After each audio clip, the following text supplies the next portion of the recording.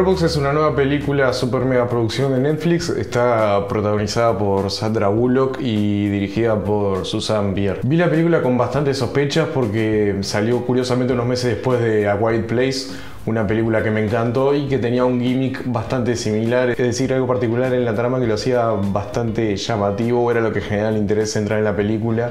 En A Quiet Place era el hecho de estar casi en completo silencio y acá era más o menos lo mismo, pero de que no podían ver. La trama se resume básicamente que hay como una especie de monstruo o bicho que no lo puedes ver porque no puedes ver en espacios abiertos, porque si no te hacen enloquecer y te matas. Pero si te vendas los ojos o ves en supermercados, casas grandes o lugares de una superficie considerable que hace parecer bastante floja la trama, ahí no pasa nada, ahí estás a salvo. La película está contada con dos líneas temporales. En la primera vemos desde los momentos previos a que se desata la catástrofe hasta los primeros días. Y en la segunda es unos 5 o 6 años después y vemos a Sandra Raulo kështë e nërmbodi, ishe nërmbodi, ishe nërmbodi. De por sí, esta forma de dividir la película para contar la narrativa me resultó bastante forzada por el hecho de que creo que la película podría haber sido tranquilamente solo la primera de esa línea narrativa, cuando están en la casa, cuando vemos que se desata todo y los vemos interactuando con los demás. Creo que la segunda línea temporal le va dando cierto suspenso, principalmente la primera, cuando ves que está a punto de explotar con la primera línea temporal, ahí pasa la segunda, como para hacerte desear un poquito más, hacerte esperar un poco más por esa resolución y solamente darle cierto cierre al arco de transformación del personaje Sandra Bullock, el cual me pareció bastante choto, por cierto, y que también era bastante similar, creo, al que hace también Sandra Bullock en Gravity de Alfonso Cuarón. Las cosas entran a suceder de una forma bastante abrupta. De la nada vemos otro cliché tan repetido en el cine y en la tele de que cuando hay una catástrofe natural nos enteramos porque los personajes se están mirando el informativo y también entran a hacer como un zapping y todos los informativos se están hablando de eso. No es que eso necesariamente esté mal, sino que es una forma bastante vaga de mostrarlo.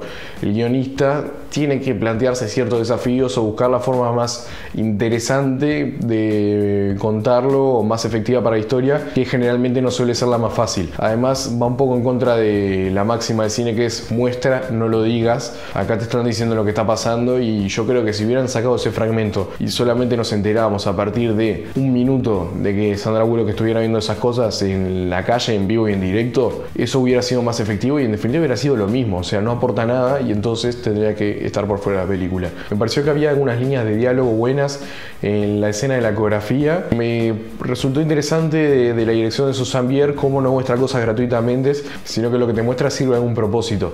Cuando Sandra Bullock está entrando al hospital, vemos a la loca que se va a terminar suicidando dos minutos después con cierto detenimiento. Es decir, esto que te está mostrando no es solamente porque le guste ni nada, sino que le tiene que prestar cierta atención porque va a tener algo que ver en el futuro de la película. Como una loca en un hospital, o sea, algo tranquilamente plausible, se mata, ya Sandra Bullock dice, espera, esto que acabo de ver se relaciona con lo que vi en la tele, entonces eso significa que ya todo se desató para la mierda y estamos todos perdidos. ¡Está! Y creo que hubiera sido beneficioso un poquito más de trabajo en ese sentido, que fuera un poco más gradual y no que fuera el guionista pensando, bueno, ya les di esto, listo, saltemos al resto de la película, considero que el planteamiento ya está hecho y listo. Sandra ve como su hermana termina muriendo eh, al pensar que está viendo a su madre y vemos como otros personajes que están en la vuelta también hablan con personas que realidad no están ahí. Esta es la única aproximación a una descripción que tenemos en toda la película respecto a lo que es ese monstruo. Si no me parece mal que se haga esta descripción, lo que no entiendo es cómo te dan algo medio por arriba acá, bastante específico dentro de todo, y después queda en el aire y no se desarrolla nunca más, ni se vuelve a tomar ni nada. Creo que para eso podrían haber jugado la ambigüedad, a que no se diera ningún tipo de indicio en ningún momento, que quede todo a un nivel psicológico, que siempre termina siendo más aterrador y listo. Pero en fin. Luego comienza la convivencia entre Sandra Bullock y el resto de los personajes. Cada uno es un cliché de este tipo de películas, pero lo que me gustó es que tiene cierto trabajo que no sé si vendrá por interés de Susan Bier, por trabajo del guionista o por el libro en el que se basan pero siempre en estas películas los personajes son completamente descartables. Acá el trabajo, repito, bastante pobre porque cada uno es un cliché. Pero por otro lado, me gustó que estos personajes por lo general tienen un inicio, un desarrollo y una conclusión. Por ejemplo, en un principio vemos como el estudiante de Bellas Artes le tiene ganas a la milica. Inicio. Vemos como el estudiante de Bellas Artes le da su quita para café a la milica. Desarrollo vemos como el estudiante de Bellas Artes y la milica se escapan en el auto. Conclusión. Teniendo esto en cuenta, después también las cosas que pasan terminan siendo bastante convenientes. Pensemos de que el guionista, por las ideas que tenía para la historia, dijo, bueno, preciso que los personajes puedan salir en algún momento de una forma segura a esta casa. Listo, le doy un auto con todos los avances tecnológicos necesarios como para que lleguen de punto A a punto B sin ningún problema. Luego preciso que por determinados requerimientos de la historia ese auto no esté más. Listo, vamos a hacer unos personajes para que se lleven ese auto y ese sea el único rol de esos personajes en la película.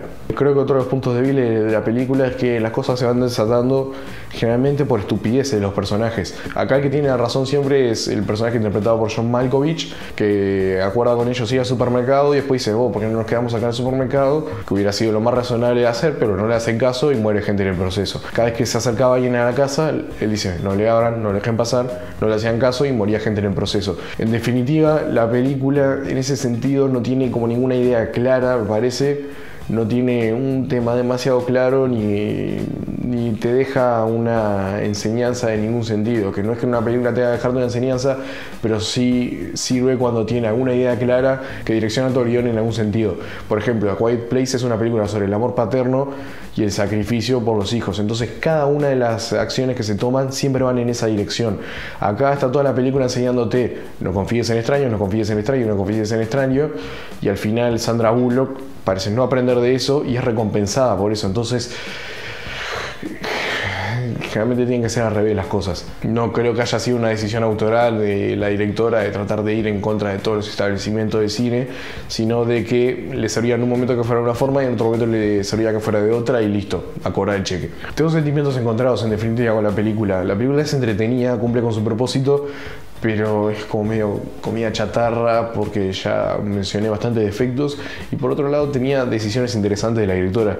Me gustó particularmente un plano cerca del final cuando él le está contando la historia de los árboles a los niños y Sandra Bullock lo interrumpe porque Sandra Bullock es mala. Ellos tienen una discusión sobre el futuro de esos niños y el futuro de ellos mismos. Esa discusión, piensen, la directora dijo, bueno, ¿dónde los pongo a discutir? ¿Cómo planteo de una forma visual el conflicto entre estos personajes? Y pimba, les pone el bote en el medio. Ese bote simboliza lo que va a ser su futuro, su escapatoria, su salvación, en definitiva, lo que ellos estaban discutiendo, justamente situado en el medio de esa discusión entre ambos.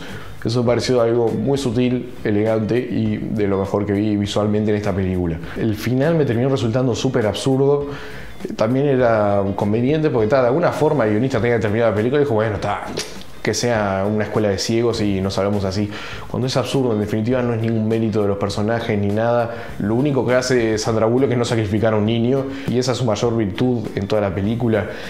Eh, aparte no entiendo por qué eh, Rick, creo que se llamaba el ciego este, cuando habla por el walkie-talkie y ve que los otros desconfían, bueno, ve, cuando habla por el walkie-talkie y siente que los otros desconfían, porque no dice, che, miren que somos ciegos, pota que pueden venir tranquilos, no pasa nada. Pasa que si hace eso a la mitad de la película, se cae el resto de la película y listo. Entonces decís, bueno, el guionista podría haber buscado otra salida que fuera más coherente y mejor.